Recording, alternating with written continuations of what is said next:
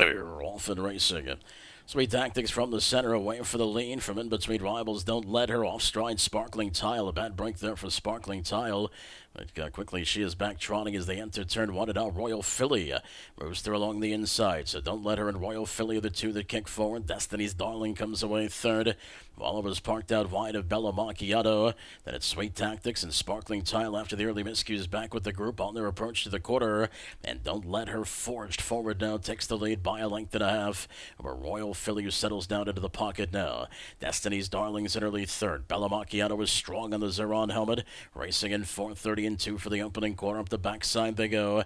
Wallover slightly gaps fifth. Sweet Tactics looks to tighten in. And Sparkling Tile trails the field. Eight front from back. They continue their long journey up the back stretch. Don't let her by two full now. Royal Philly is second. Destiny's Darling continues third. Slightly gapped in the face of Bella Macchiato, who continues to uh, race on a helmet fourth. Wallover's just a length behind fifth. As they go beyond the half, one minute, a 29 and three second quarter. Sweet Tactics is six. Sparkling Tile trails the field as they make their way around the turn. It's turn two. Don't let her by a length as they race on to three quarters. Royal Philly continues that pocket positioning. Destiny's Darling is still third. Bella Macchiato still fourth, a tightening fourth at that. Racing in fifth, Wallover. They hit the head of the lane. Sweet Tactics moves to the outside, looking to flush some cover. Does Bella Macchiato's out of fourth. Destiny's Darling stayed home from third.